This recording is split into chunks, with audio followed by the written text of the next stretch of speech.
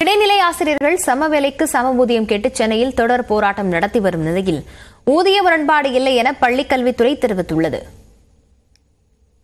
தமிழ்நாட்டில் கடந்த இரண்டாயிரத்து ஒன்பதாம் ஆண்டு மே மாதம் முப்பத்தொன்றாம் தேதிக்கு முன்னர் பணிக்கு சேர்ந்த இடைநிலை ஆசிரியர்களுக்கு அடிப்படை ஊதியமாக எட்டாயிரத்து முன்னூற்று எழுபது ரூபாய் நிர்ணயிக்கப்பட்டது.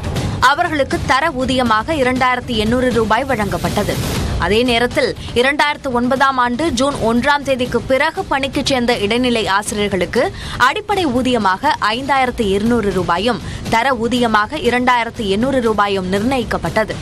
இந்த ஊதிய முரண்பாட்டை களைய வலியுறுத்தியே சென்னையில் இடைநிலை ஆசிரியர்கள் போராட்டத்தை முன்னெடுத்துள்ளனர்.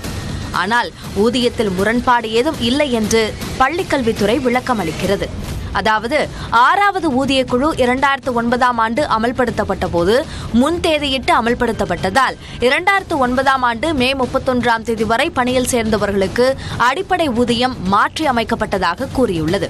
ஆனால் இரண்டாயிரத்து ஒன்பதாம் ஆண்டு ஜூன் ஒன்றாம் தேதிக்கு பிறகு பணிக்கு சேர்ந்தவர்களுக்கு ஆறாவது ஊதிய குழு அடிப்படையில் புதிய ஊதிய விகிதம் நிர்ணயிக்கப்பட்டதாகவும் புதிய ஊதிய விகிதத்தை ஒப்புக்கொண்டு பணியில் சேர்ந்த பின்னர் தற்போது அதனை மாற்றியமைக்க வேண்டும் என்று கூறுவது ஏற்க ஏற்கத்தக்கது அல்ல என்றும் பள்ளிக்கல்வித்துறை கூறுகிறது. நியூஸ் எயிட்டின் தமிழ்நாடு செய்திகளுக்காக செய்தியாளர் கீர்த்தன்.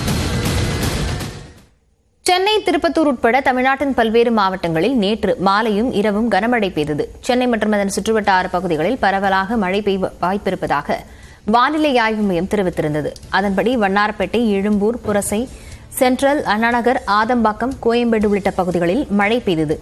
பரவலான மழையால் வெப்பம் தணிந்து குளிர்ச்சியான சூழ்நிலை நிலவியது. திருப்பத்தூர் மாவட்டத்தில் ஆம்பூர் சானாங்குப்பம் ரெட்டித்தொப்பு கோவிந்தாபுரம் பசார் வீதி தேவலாபுரம் உள்ளிட்ட பகுதிகளில் கனமழை பெய்தது. ஒரு மணி நேரத்திற்கு மேலாக மழை கொட்டியதால் தாழ்வான பகுதிகளில் தண்ணீர் சூழ்ந்தது. வாணியம்பாடி மற்றும் அதன் சுற்றுவட்டார பகுதிகளிலும் மிதமான மழை பெய்தது. நீலகிரி மாவட்டம் பந்தலூரில் தொடர் மழை காரணமாக சாலை ஓரங்களில் ஆங்காங்கே திடீர் அருவிகள் உருவானது. சாரல் மழையினிடையே இந்த அருவிகளின் ரம்மியமான காட்சியும் இனிமையான ஓசையும் வாகன ஓட்டிகளுக்கு உற்சாகத்தை ஏற்படுத்தியது.